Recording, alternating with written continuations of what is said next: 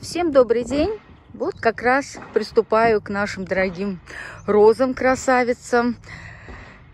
Поздно, поздновато уже, но вот, к сожалению, не было времени. Но вот видите, я их уже открываю, они практически с листочками. Вырезаю, вон, видите, вырезаю очень много. Ничего страшного, роза создания благодарная, нарастет сильнющий ветер. Вот штамбовые как раз открыты. Открыты все, кроме плетистых. Плетистые не тороплюсь открывать.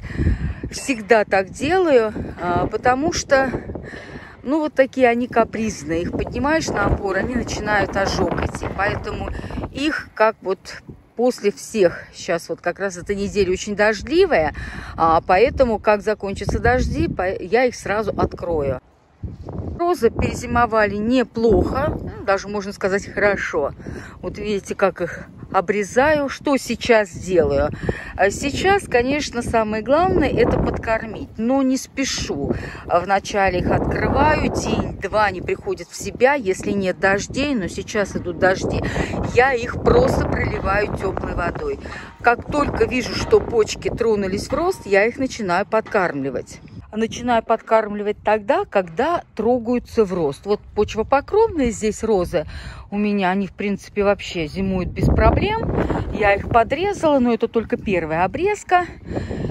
И вот как только я вижу, что вот листочки вот так вот начинают распускаться, я их подкармливаю. Чем я подкармливаю? В этом году я подкормила обычная азофоска, азот, фосфор, калий 20-20-20 принципе, азот, фосфор, калий – это те удобрения, которые нужны вашим розам и вообще всем растениям. Поэтому если вот я ничего еще не покупала, а вот сейчас заказала пролонгированное удобрение на 100 дней для роз, а пока, чтобы они тронулись в рост, я сделала им азофоска.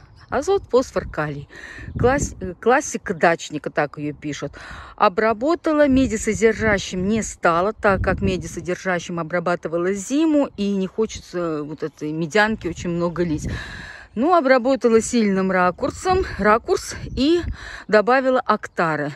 Санмайтом я обрабатывала в прошлый раз. Это от всех клещей. Препарат работает, а, как пишут, полтора года. Ну, получается у нас два сезона. Посмотрю, действительно ли так заявляет себя препарат. Мне очень он понравился на клубнике. Хорошо от клещей. В том году был очень хороший урожай, несмотря на то, что были очень сильные майские морозы, но это так отступление. У, хорошо уничтожает вот этого клеща, который ест цветочки клубники. Поэтому берите на заметку. Как он поведет себя на розах, будет ли какой паутинный клещ, буду, буду смотреть и обязательно дам вам знать. Ну а сейчас вот занимаюсь обрезкой роз. Вот такие вот есть здоровые. Конечно, половину буду вырезать. Не бойтесь вырезать. Роза благодарное создание. Она вас всегда отблагодарит. Почва покровная открыла уже, наверное, недели две назад. Вот сейчас открываю розы. Здесь у меня и штамбовые розы, и кустовые, и шрабы, и плянтовые. В общем-то, здесь у меня вся куча.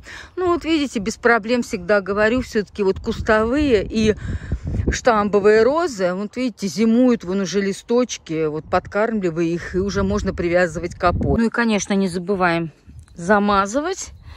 Как раз здесь вот замазка у меня просто обычная, замазка садовая. У кого что есть, ранет, тут уже каждый по своим возможностям.